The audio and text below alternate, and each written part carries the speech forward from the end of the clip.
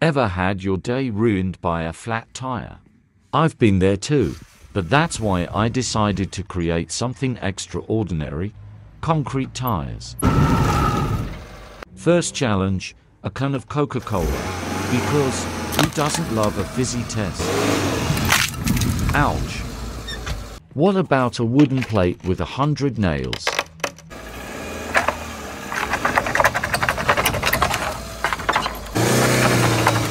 That was so smooth. Tires didn't even flinch. Let's try to do a burn.